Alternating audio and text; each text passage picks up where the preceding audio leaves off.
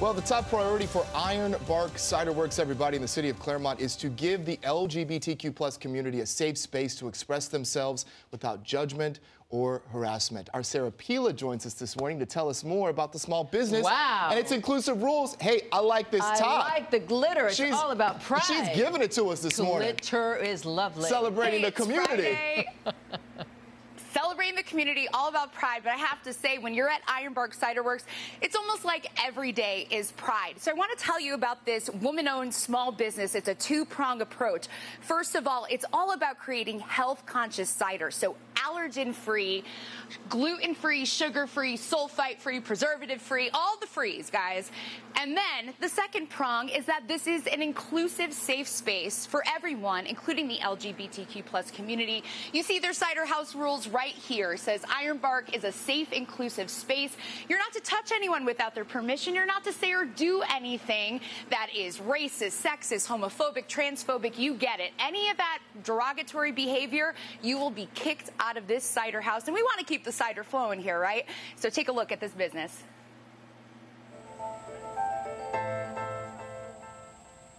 This cider going through this filtering stage is allergen free and contains no added sugar. It's a process that Ironbark Cider Works owner and CEO Kat Fleming says ensures they're living up to the first part of their mission. One is that we want to make really clean cider, cider that is doesn't affect you in any way, like allergically or anything. Kat is from Australia but grew up around Claremont and began making cider because she couldn't find alcohol she could drink. She's allergic to sulfites and gluten and doesn't like consuming a lot of sugar. But after discovering dry cider on a trip to England, she came back to the States inspired. I decided to make it on my own. So I taught myself how to make cider. Um, and one thing led to another, and here we are. So, creating cider her way, she opened the Cider House in 2017. The business has also become a family affair, with Kat's daughter Becky joining the ranks during the pandemic. They had really no help when COVID started, and they really needed to get production up. While making clean, dry cider is one prong of the business, the second is making Ironbark a safe space for everyone, including the LGBTQ plus community. Kat calls themselves aggressively inclusive, protecting everyone's rights to be who they are. you will not be judged. You will not ever have anyone making a comment.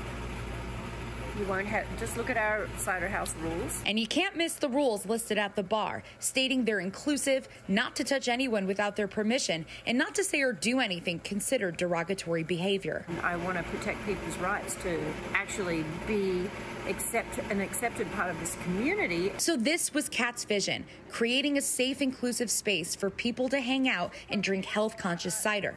And her motivation makes her daughter proud. That's how my mom is. When she wants something done, she gets it done. Well, Ironbark missed out on Pride last year. This year, they're hosting events throughout all of June.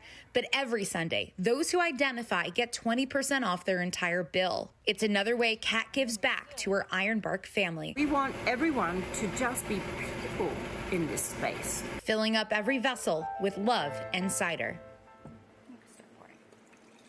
And so here, Kat is here pouring uh, a cider this morning. Lestat, you have all sorts of different types of ciders here when you come to Ironbark. Uh, what is in this, Kat? Yeah. That's uh, what's like the, what makes it red? This is blood orange cranberry. It is Blood blood orange cranberry? cranberry, you guys. Hmm. So you can literally get, you know, anything you want here. The blood orange cranberry matches the pink bar, as you can see. It's all about fun and color and just everybody getting along with one Hold another up, Sarah. here. You said blood orange cranberry cider. I'm getting in my car right now. I'm heading right over to you, my friend. What's up? Okay, we need a taste test. Come on, There you you got to go. give us a How does it taste test. Taste. Yeah, tell us how it tastes.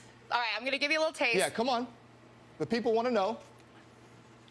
Oh, Is you it guys. delicious? Oh. I'm telling you, this is the real deal. It is dry, uh, but it still gets that crisp, refreshing taste. This is the type of cider you want to drink. Do you I'm really telling taste? I'm- do you really? uh, I- how present are like the is the is the cranberry and the blood orange flavor the, the, the notes? Is it really there?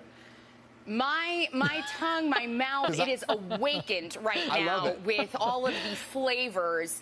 Uh, it, it's going to be a beautiful weekend, right? I mean, we're going to need some nice cider to I refresh think we're us. seeing your poetic palate yeah, come we are out here. Because you know sometimes they put all that fancy stuff. They talk about it, but the drink is not. They, don't- they're not. They don't be Yeah, about it. Cider. Yeah, Listen, I like we that. always say put on what's not on And you offer, what's not being offered. Yeah.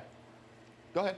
What I love about this too is, you know, I'm gluten free, so Yes. I can't drink beer. There's a lot Yeah. of stuff I can't drink. A lot of ciders are sweet. This is the type of stuff. So I, I fell in love when I came here, not only because of the cider, obviously, but of course of the message too. It's kind of the best of both worlds. I'm telling you, you can drink it up and live your dream and best life. That's how we do it. And cider, it's such a new and novel thing. Thank you. Thank you, Miss Thing. This is fabulous. Thank you, Sarah. Yeah. Nice going.